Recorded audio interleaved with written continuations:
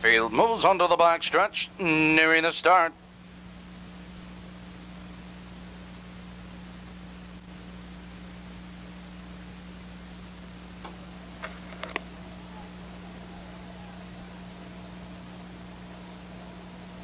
And they're off. Jane's Mean Machine going right for the lead off stride momentarily.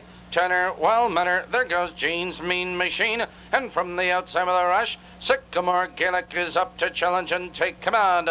It's Sycamore Gaelic by two lengths, Jane's Mean Machine. In second by three lengths, that's Dom's Brat. Third now by four lengths, Blackjack Renva. Followed in that turn, ideally made as they head for the quarter. It's Sycamore Gaelic by two and a half lengths. They're by the quarter, 28 and four. Sycamore Gaelic has the lead. Jane's Mean Machine right there in second. Dom's Brat two lengths back in third.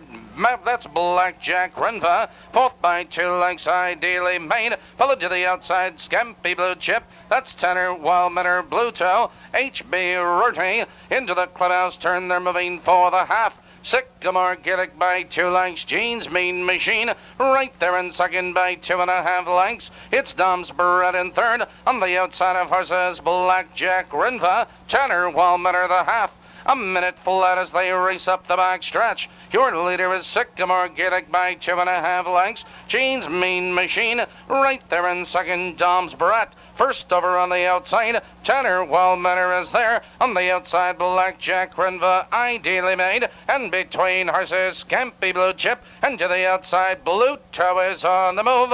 Now they drive around that far turn. Sycamore Gaelic opening up the lead now by three, now by four lengths. On the inside, Jane's Mean Machine. Here they come, turning for home. Sycamore Gaelic is all by himself. On the outside, a late move by Tanner Wildmanor. Pull it on the outside, ideally made. It's Sycamore Gaelic by five. On the outside, that's ideally made. A late move on the outside by Scampy Blue Chip. It's Sycamore Gaelic, Scampy Blue Chip charging to the outside. Here comes Scampy Blue Chip. Those two at the wire. That is a photo finish.